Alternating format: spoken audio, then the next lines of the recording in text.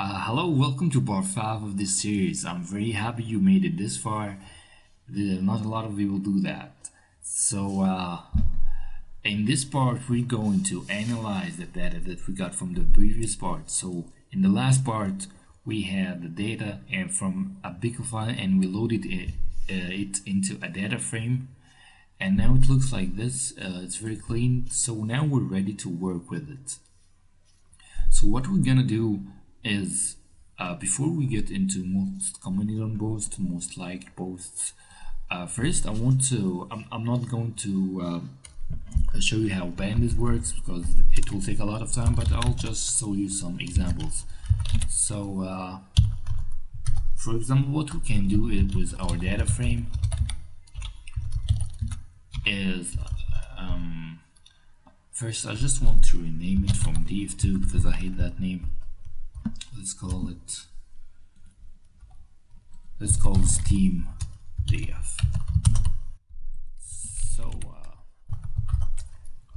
for example if I want to choose the total comments row it will give me all the the ID of the row and its number of comments.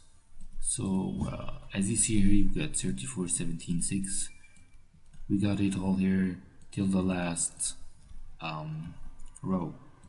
And by the way in the head if you put a number in here it will give you the first 10 posts for example in this.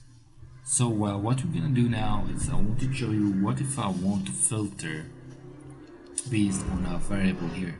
So for example I want to uh, ask it what are the posts that have more than a hundred or a thousand comments?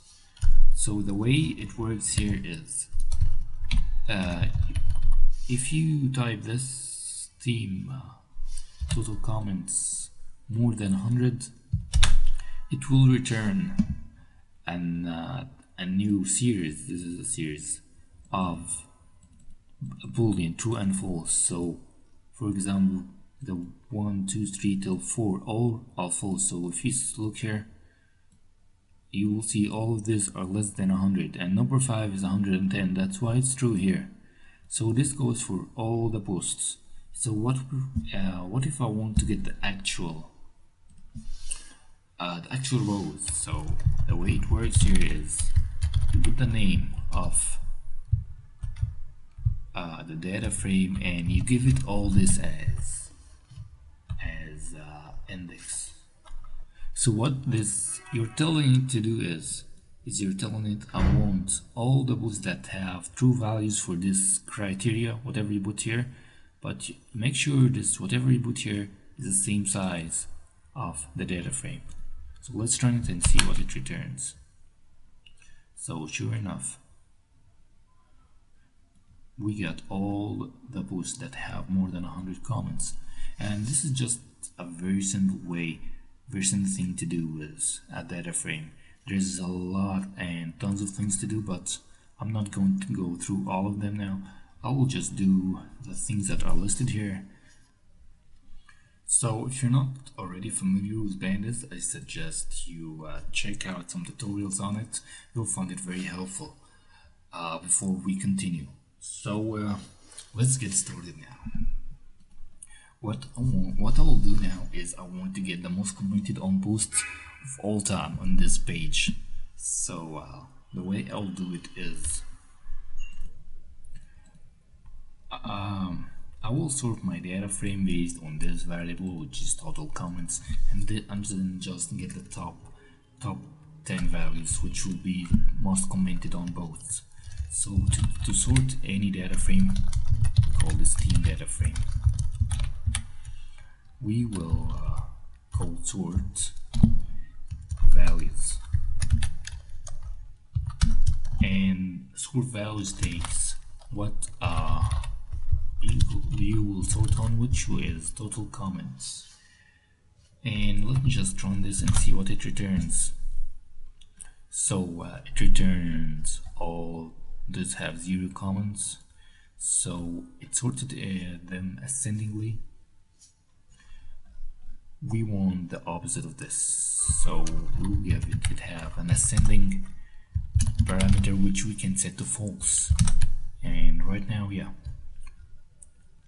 We we now have uh, the most uh, commented on post which as you see this post have 6,000 comments which is the Left 4 Dead is free today. Yeah I remember this uh, it was on Christmas I think. So anyway okay so I want to save this in a new data frame. So uh, what if I type here? Top comments equal this. Right now top comments have uh, this new sorted data frame. And if I want the top 10 I'll just use the head function which will give me 10 I'll just say here top comments equal top comments head and that will make it have only the top 10 values. So uh, what I want to do now is I want to actually have take a look on Facebook on these posts. So I want to open them on Facebook. Um, we will do this uh, by using the ID okay so in order to open them uh, we will in order to open them we need this ID of the posts. So what I want now is I want to just have the ID saved. Uh, let's call it top comments ID and this will just contain the ID of the top comment so just to look take a look at it.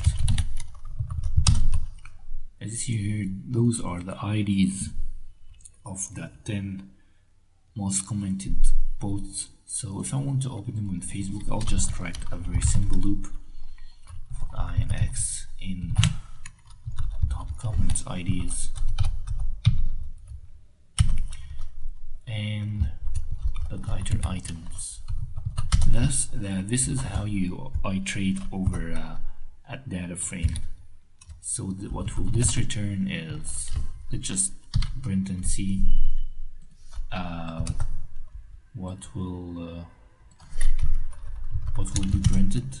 So I is the ID of uh, the post. Uh, uh, the ID in the data frame and X is the string which is the actual ID in Facebook. Okay so I wrote this so I wrote this uh, this string will concatenate the www.facebook.com with the ID and let's run it out and see what happens. Okay so we got the URLs of the 10 most commented on posts. So uh, right now we can just click him and see them open. So here's number one Left 4 Dead. Free on steam today and it have 6000 comments. And those are other top uh, posts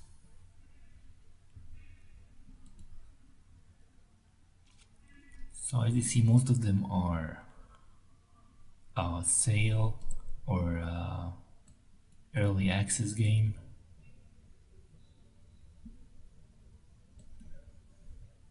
But what stands out is this Left 4 Dead is free today, which was on, yeah, it was on Christmas. It was a very good thing to do by Steam. Anyway, so there you have it. You have the top commented on post from this page and uh, you can run this on any page and uh, if you find something interesting please share it in the comments with us and I'm pretty sure you guys are gonna find uh, pretty interesting stuff yeah I'm running out of battery here so in the next video I'll not do the most like post because it's exactly the same but you'll just change the variable name. You'll sort by the total likes and then choose the top 10 like posts in the same way exactly. So if you want uh, I will do it for you guys. In the next video I will do something more complicated which is counting the top words. So uh, more into that in the next video. So I'll see you